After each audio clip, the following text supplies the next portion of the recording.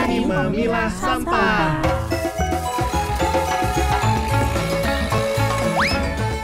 Stop, Dul. Jalan-jalan ke Tanah Abang. Pulangnya bawa rambutan. Cakep. Hei, kamu abang-abang.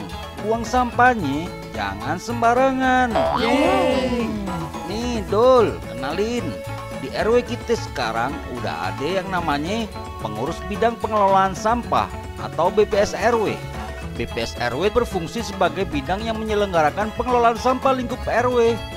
Sesuai dengan Pergub DKI Jakarta nomor 77 tahun 2020 tentang pengelolaan sampah lingkup rukun warga, BPS RW terdiri dari ketua, seksi operasional, serta seksi sosialisasi dan pengawasan. Ketua memiliki tugas utama untuk membuat rencana kerja pengelolaan sampah lingkup rukun warga. Sementara seksi operasional bertugas untuk melaksanakan pemilahan, pengolahan, dan pengangkutan sampah di rumah tangga. Yang terakhir, seksi sosialisasi dan pengawasan yang bertugas untuk menyampaikan informasi kegiatan pemilahan sampah dari rumah ke rumah dan rembuk warga serta mengawasi kegiatan pemilahan sampah oleh warga. Jadi sekarang saya harus gimana nih Pak RW? Nah Dul, mulai sekarang kamu wajib mengikuti anjuran pengelolaan sampah oleh BPS RW kita.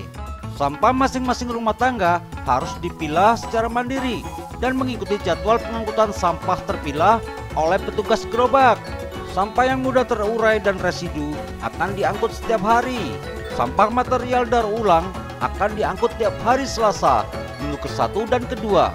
Sampah bahan berbahaya dan beracun rumah tangga atau B3, e-waste atau sampah elektronik akan diangkut tiap hari Rabu minggu ke-1 setiap bulan.